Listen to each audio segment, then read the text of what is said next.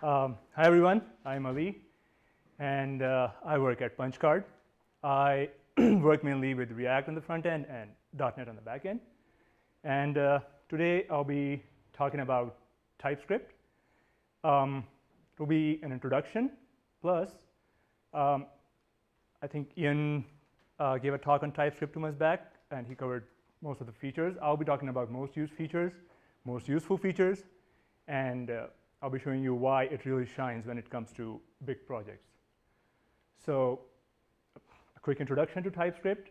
Um, it is a typed superset of JavaScript um, that adds optional type information on top of it.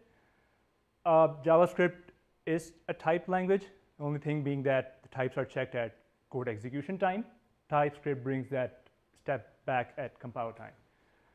Um, it is maintained by Microsoft and open source, uh, who introduced TypeScript as JavaScript that scales.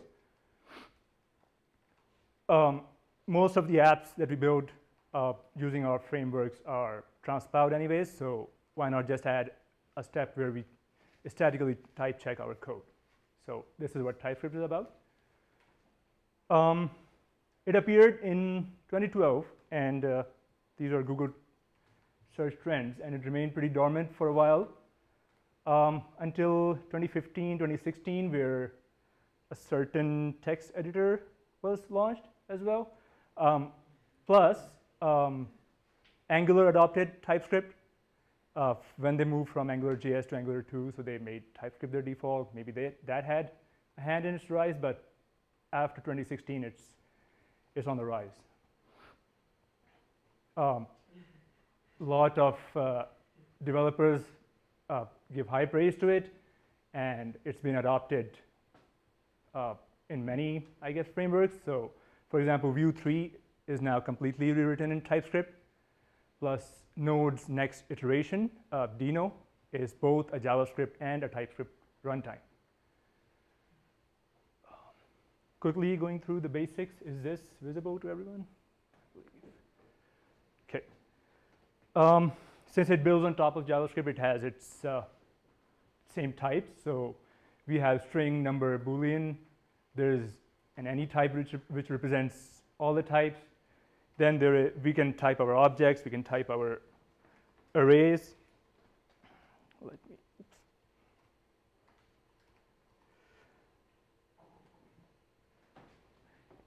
uh, and then we have the usual suspects undefined and null. Uh, we can type our functions.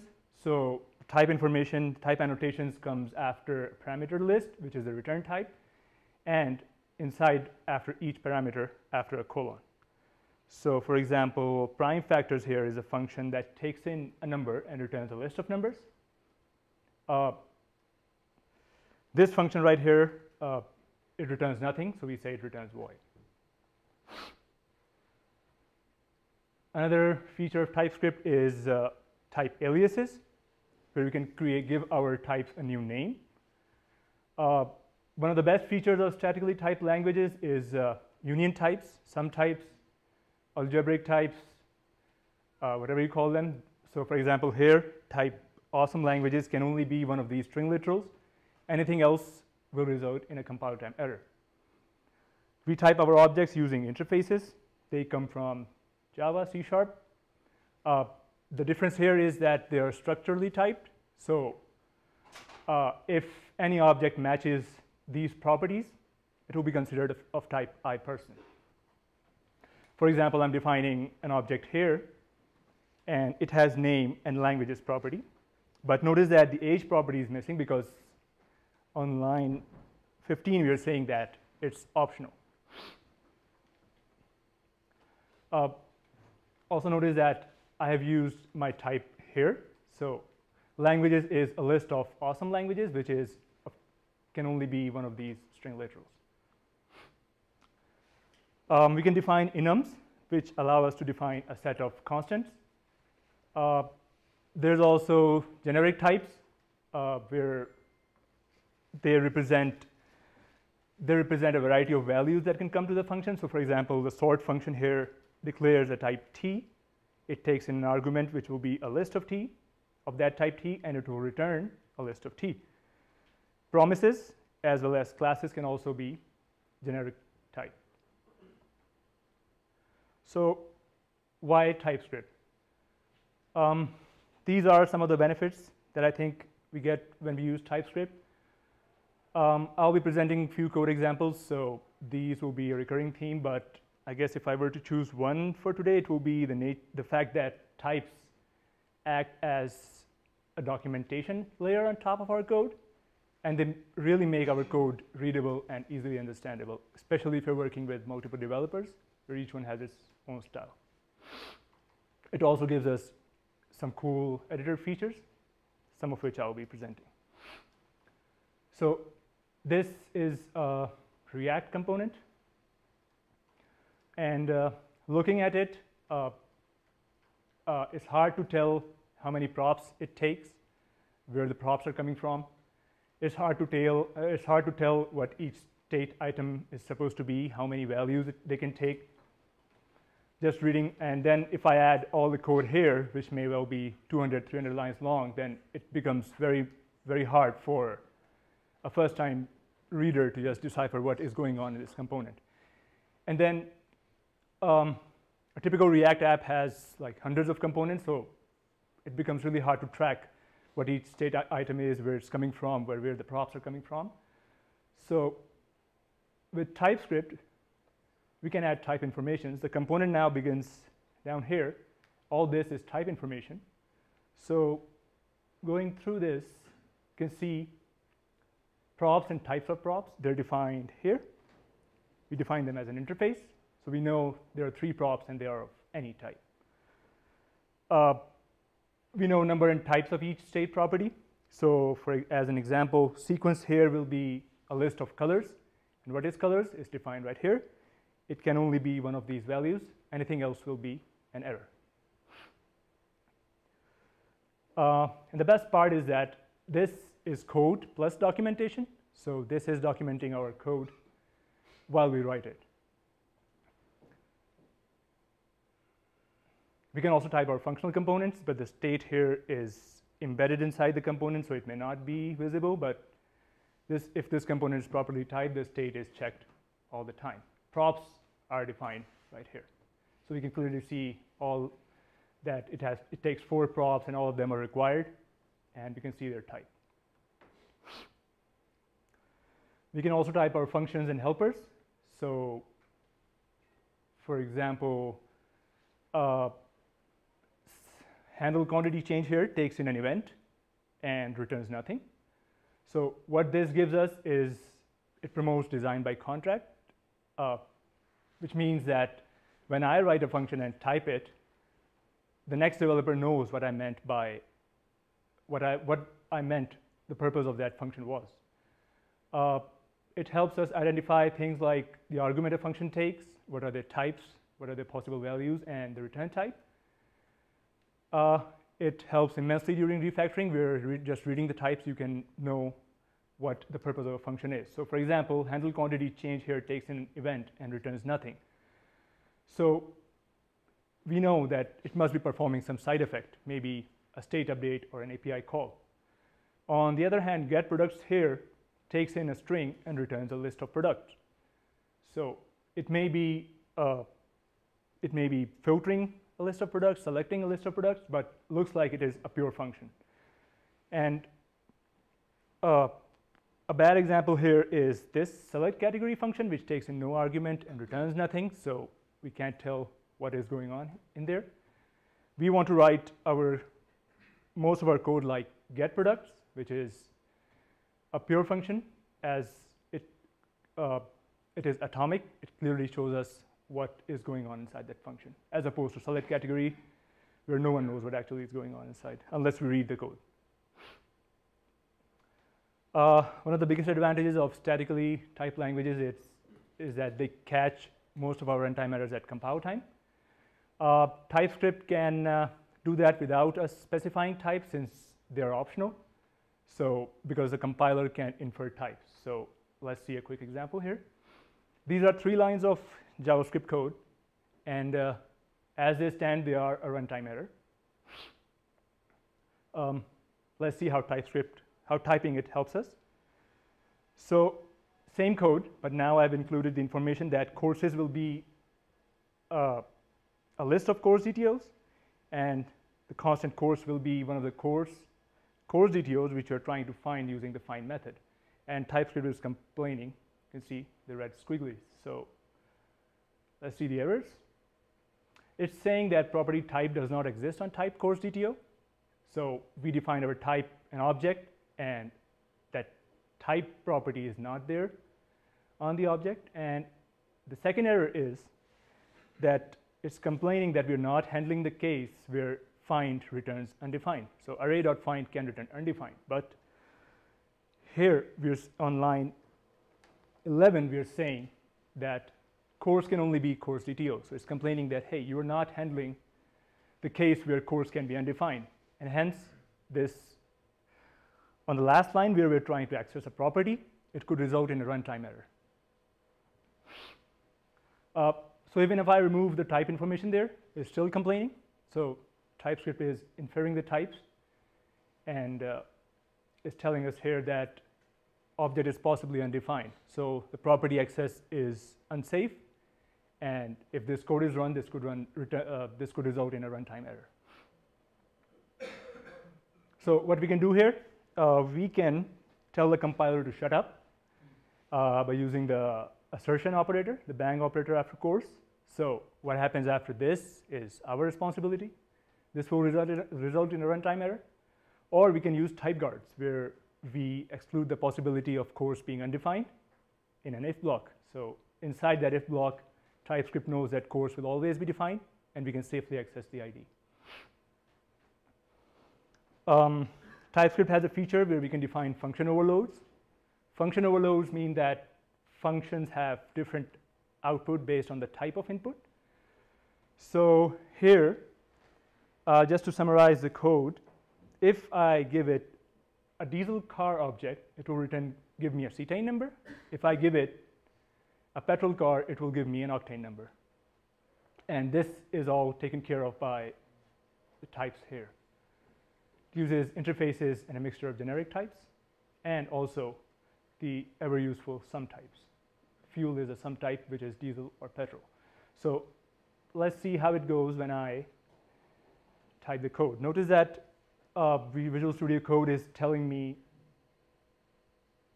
that, for example, in that if block, it knew that it would be a, a diesel car, so it, the property access was a cetane number. And in the else block, it knew that the car would be petrol, so the only property I could access was an octane number.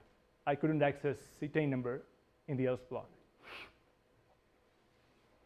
This is another example of a runtime error. Uh, maybe you can tell what, it, it, what is wrong here, something to do with destructuring.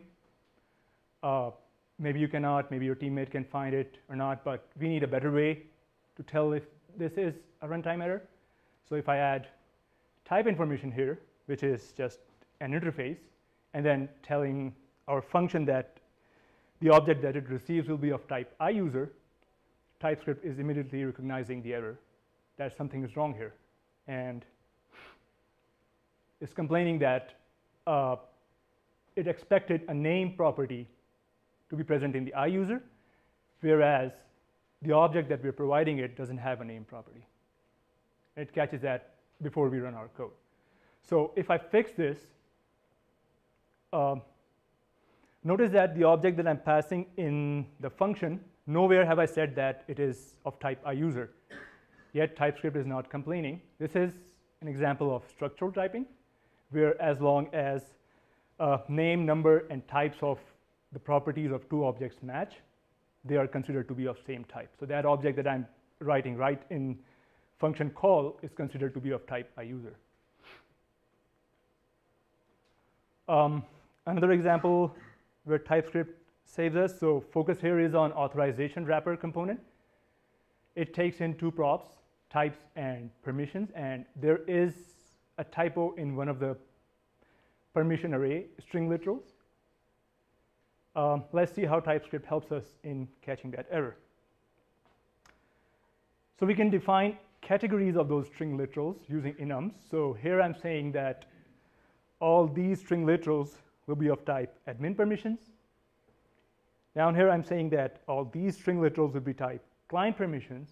And then on line one, I'm defining a sum type where I'm saying permissions can only be either admin permissions or client permissions. And now they're turned into constants. So when I define this component, I declare the prop types here in the interface. I say permissions can only be a list of those permissions, and the type prop can only be one of auth wrapper type, where auth wrapper type can only be one of these string literals. Nothing else is allowed. So let's see how it helps me when I'm writing the component itself.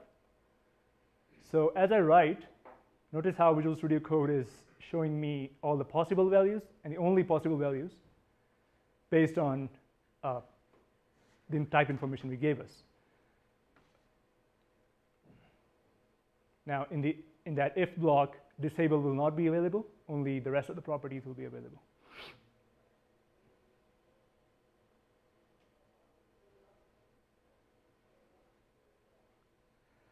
Similarly, when I use this component, uh, TypeScript is complaining that I'm missing some props, the red squiggly there. And as I type this, now again, it shows me all the possible values of that type. I don't have to go back to look at the, at the definition of the prop, uh, of the component. And now in the permissions, the only allowed values are defined inside that admin permissions enum. And now this, this removes any possibility of a typo or an error arising from incorrect string literal.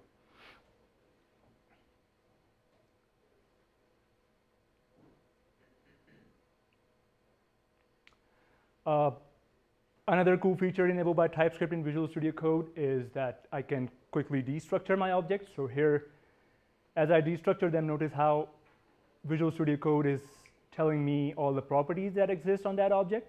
So for example, this, all the properties that, that exist on current organization again. Uh, this excludes, uh, this, I guess, just rules out any possibility of error here.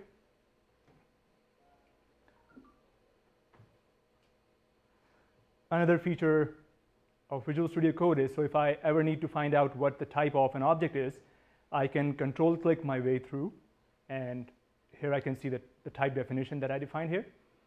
And then I can go back and look at some other objects. So uh, here I'll go to definition. Current organization is of type organization DTO. And I can control click my way through the definition and I can see all the properties here. Uh, Here is another feature, I guess this is well known by now, where we can rename our symbols. So Visual Studio Code is using TypeScript under the hood to tell which uh, the, all the instances of the variable and we can rename it in one click. Uh, I'm not sure if this happens in JavaScript as well. I haven't used it in a long time, but if it is happening, it is because Visual Studio Code under the hood uses TypeScript compiler to type check our code, our JavaScript code as well. Another feature where Visual Studio Code helps us is just defining all the types for us. So I can, I can right click on the, I, I can click on the bulb and ask Visual Studio Code to infer types for us based on the usage. So it's using Visual uh, TypeScript compiler to recognize what the types of the parameters would be.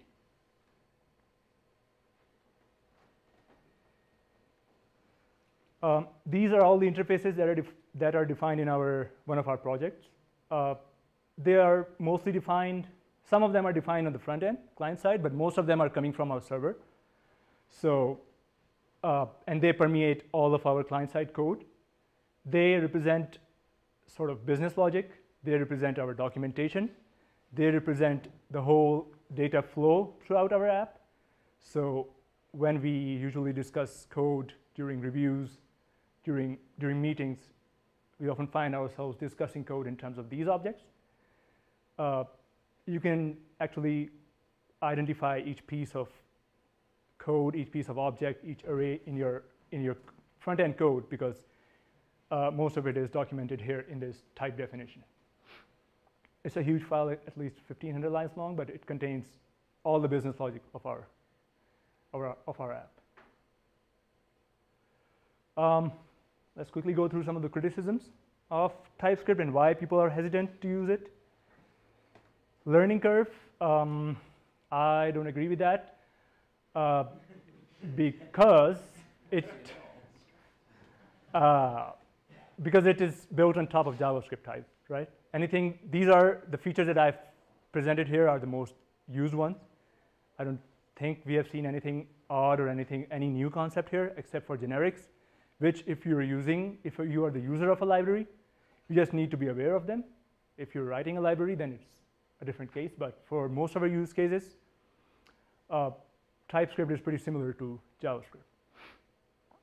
Uh, conflicts with existing libraries, uh, it may happen that you may find you may, you're using a library which doesn't have type definitions for it. So you can define them your, you can define them or uh, there are projects like Definitely Typed which has type definitions for over 5,000 libraries. So you don't need to do anything there as well. Uh, it's highly unlikely that today a library will be there which doesn't have type information. Uh, just another fad, uh, it's been there since 2012 and uh, and it's gaining it's gaining popularity now. So in, in developer surveys, we see that it is right up there in some of the most in some of the most loved languages as well as uh, right there right up there with one of the most wanted languages. Does not eliminate 100% runtime errors. Yep, it does not because it has to cater for the dynamism of JavaScript. Uh, it does not guarantee that it will. Plus, errors could arise at runtime because TypeScript only checks the code at compile time. So errors arising at runtime, TypeScript is not responsible for that. Uh, complicated error messages sometimes, but nothing that a Stack Overflow search couldn't solve. Difficult initial setup and migration. This is usually is largely taken care of because of the uh, popularity and adoption rate. So uh, major frameworks and libraries usually, usually have TypeScript support out of the box. Uh, migration is easy enough because uh, TypeScript can type check your existing JavaScript code. So if you install TypeScript and enable the compiler option to check your JavaScript code, it can check you for that. And then you can move on from that step, introduce types in your code. Um, does not obviate the need for testing code reviews. It does not. It does not claim to be. You still need to follow best practices. You need to test your code. Um, other tools available, prop types and flow are specific to React. JSDoc is a comment-based type system. Uh, I would love to hear anyone you currently using JSDoc, how they maintain their uh, maintain their typings, but I don't think any of these tools compare come close to even, to, they don't even come close to TypeScript. Uh, lastly, people complain that it, it, is deviating too much from JS. Some of the features that TypeScript introduced early on uh, are now part of the standard. So classes are now part, async await are now part, plus the TypeScript team is working closely with TC39. So for example, all these stage three, uh, all stage three proposals are now getting into TypeScript. So for example, two days back, TypeScript 3.7 was launched, and it already has null coalescing and uh, optional chaining, which will be added to JavaScript sometime next year. So um, to conclude, so should we just, I guess, ditch JavaScript now? Uh, maybe rename our uh, meetup to exchange TS. Uh, I don't know, uh, but it gives us a lot of, I guess, productivity bonus, uh, both as a developer, and it really shines uh, when it comes to communicating with the team. Um, I consider it more as an extension of JavaScript. It builds on top of it, and uh, more like a DLC than a standalone game. So, yeah, and I can promise you that once you start using TypeScript, you're never going to use JavaScript again, maybe you can use it in your uh, in your personal projects. I still use JavaScript, but when it comes to uh, working in teams and reading other people's code, I am not diving into that without TypeScript. So, yeah, that concludes my talk.